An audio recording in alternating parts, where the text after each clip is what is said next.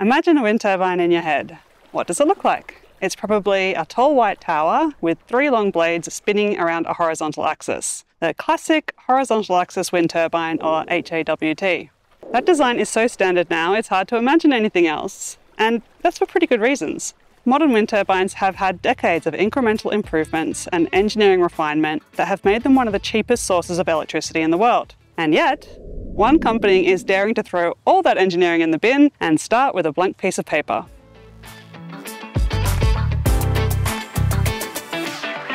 I'm Rosie Barnes, founder of Pardalote Consulting, where we advise on clean energy technologies, helping startups with development and investors with assessing the landscape. Welcome to Engineering with Rosie. I'm standing on the pier in Fiskebäckskil, Sweden, where just over the other side of the fjord, there is a dramatically different kind of wind turbine floating in the water. SeaTwirl is developing a floating vertical axis wind turbine, or VAWT, a completely different shape to most modern wind turbines, with blades that spin around a vertical shaft, more like a giant egg beater or a bike pedal than a propeller. It's a design that was tried and then mostly abandoned decades ago. So why are they bringing it back now? It's because floating wind could change the rules of the game. Most of today's offshore wind is fixed bottom, and that requires huge steel monopiles or jackets to anchor turbines to the seafloor. But in deeper waters, that gets expensive fast. As I've mentioned in a previous video, while floating wind is currently way more expensive than fixed bottom, eventually it could end up being cheaper than fixed bottom because the steel usage should be less and there's opportunities to simplify installation and maintenance. Currently, fixed bottom offshore wind turbines look just like onshore ones, though bigger. And the few floating wind farms also use a standard turbine design on top of a floating structure of some kind. But the floating environment is vastly different to the conditions that onshore wind turbines evolved in, and those huge top-heavy structures aren't particularly suitable for floating. I've said in several earlier videos that a vertical axis design could be a much better match for floating systems. For starters, vertical axis wind turbines can put the heavy equipment at the bottom, giving them a low centre of gravity, which helps with stability, a major benefit for floated platforms. And with the generator and gearboxes down near the waterline instead of up top of a tower, installation and maintenance becomes much simpler and doesn't require as many specialised vessels. I visited the SeaTwirl office in Gothenburg, where I met CEO Johan Sandberg and Head of Product Development Jonas Bostrom to tell me all about SeaTwirl. I wanted to know, what is the core idea behind SeaTwirl? What problems are they trying to solve in the offshore wind sector?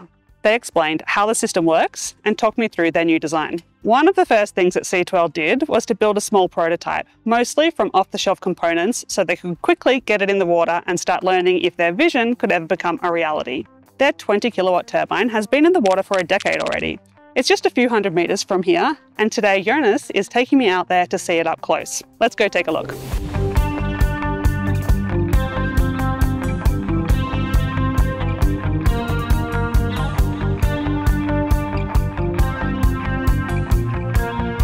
So this is our S1 turbine. This was the first turbine that SeaTwirl ever installed, and it was installed in 2015. And it was installed at a very small team. So we were basically three at the time, uh, head engineer, and project leader, and uh, the CEO. And it's 30 kilowatts. It's um, based on a land-based turbine. So basically we have taken that rotor from a land-based turbine and placed it on our structure. So somebody else's uh, vertical axis wind turbine design. Indeed. You can see the hub there where the uh, struts are connected. So that's that's where the generators were placed on that kind of a turbine. So we have extended this with the shaft, and then that shaft is connected to the substructure and testing out this rotating uh, spar basically. And inside the generator housing, we have access to all three generators, and then those generators are exporting energy into the uh, into the land actually, which is then connected to the yard. So it's uh, it's actually grid connected. Um, obviously, it's not turning today. It's not much wind today. No, we've got beautiful glassy water, which is great because otherwise I'd be throwing up over the side of the boat. Uh, the worst seasickness. Can you tell me through what, what have you learned? Like, what tests did you do, and what have you learned from having this small prototype?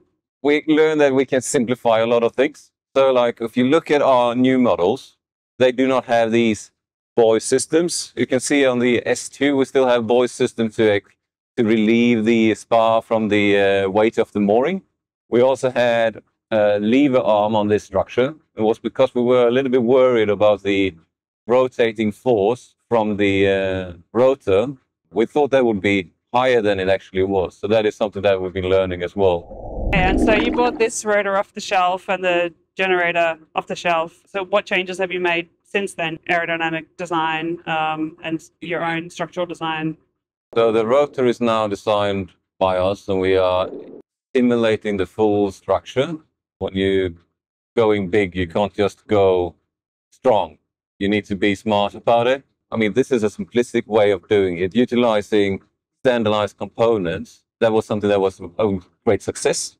How about the aerodynamics? Is there anything that you've learned about the, the aerodynamics? Did it perform the way you expected? Like, have you put together a power curve from this uh, this little guy? So when we simulate it in our environment, when we're doing the hydrodynamic part, and we're taking the information that we have from the turbine uh, manufacturer, we actually get quite matching results. Okay, so this was 10 years ago. What was the next step? And the next step was to build the S2. We utilized this uh, turbine to showcase energy distributing companies. Okay, would you? What would take for us to be able to sell this to you? And then uh, the answer was, well, nowadays you need to get up to at least megawatt scale. We we see now that you can do it, but you need to now show that you can produce energy and that you get a sustainable uh, levelized cost of energy.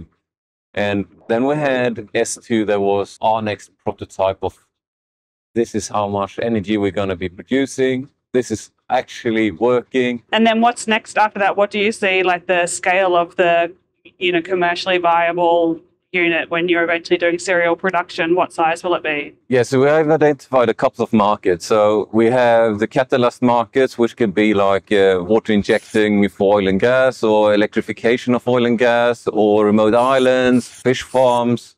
And for these, we need smaller turbines in some places. So we have a very small turbine can provide off-grid energy, trickle charge applications, or we have the large unit, which is uh, called S3 at the moment, which goes all the way up to 6 megawatts. And this is something that we can utilize for electrification of oil and gas platforms, for example.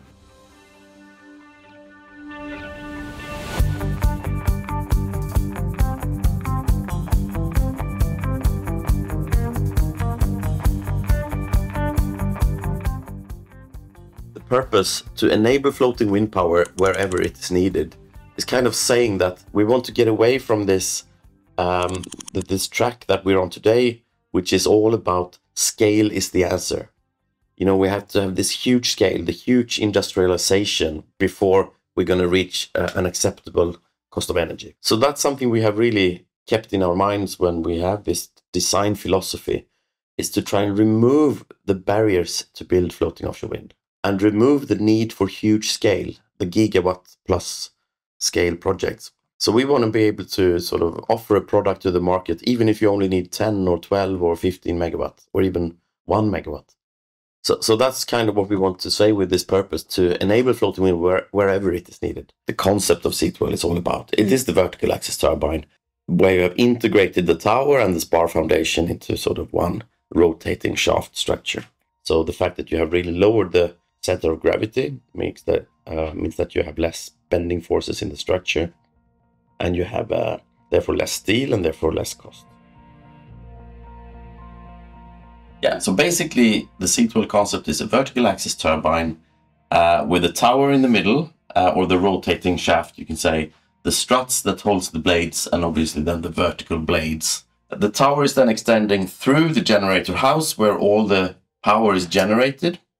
Uh, these are where the ge generators are located and the, and the gearboxes and so forth and then it extends down to the spar, which is the floating foundation. The spar and the whole structure is obviously then kept vertical in the water with ballast at the bottom of, of the foundation. And the mooring lines uh, you can see here. So this is what is keeping the the the whole turbine stationary where it is is moored to the seabed, and it's also what's keeping this one from rotating. The big uh, change of our design that we are kind of launching now in in uh, Q2 of 2025 is the fact that we are changing the rotor from a three-bladed design to a two-bladed design.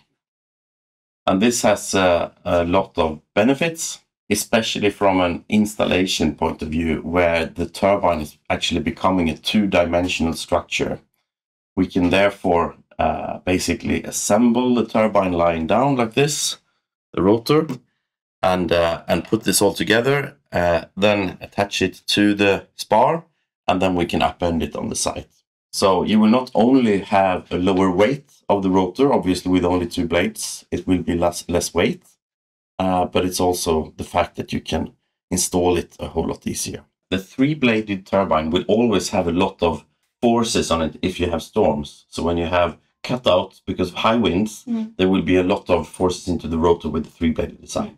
With this design, you can obviously direct the blades against the wind and it will catch much less energy. So the extreme loads on this structure is actually going to be quite a lot lower than on the three-bladed structure. It's all carbon fiber or um, uh, composite. The the struts mm. in the blade is composite. Mm. Uh, these are our steel mm-hmm. and monopile steel.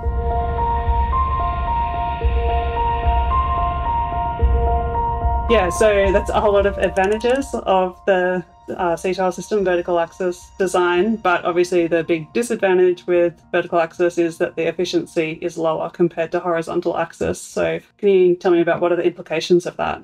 Yeah, and when you talk about efficiency, you refer to the uh, power coefficient of a vertical axis turbine versus our horizontal axis turbine. And we do have lower.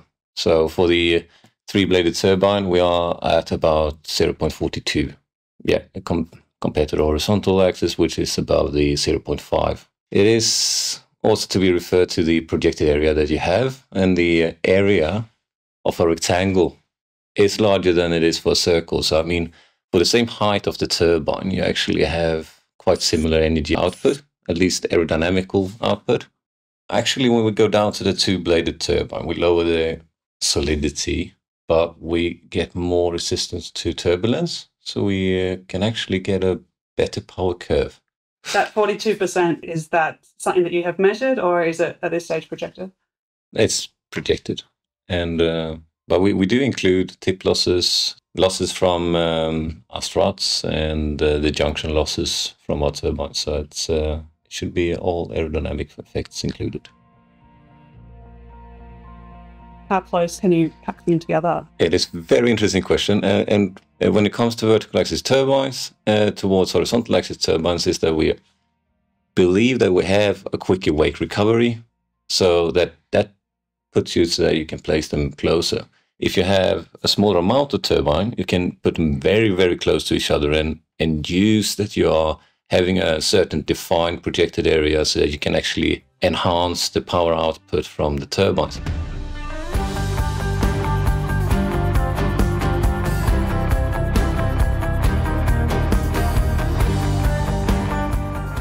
I've really enjoyed learning more about SeaTwirl and their development efforts. The floating offshore environment is so different to onshore wind, it really does make sense that a different kind of turbine could work best in that environment. And I'm really glad to see that there are people trying to find a better way.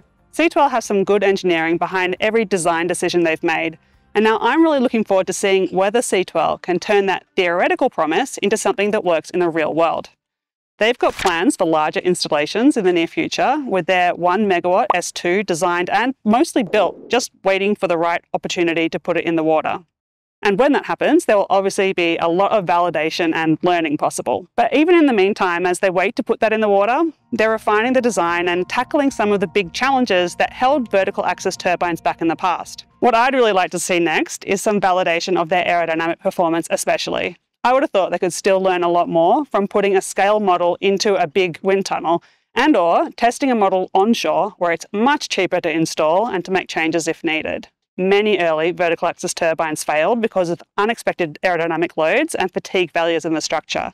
So getting solid test data to validate simulations is going to be crucial to ensure that there aren't too many surprises by the time that they get their megawatt scale turbines into the water.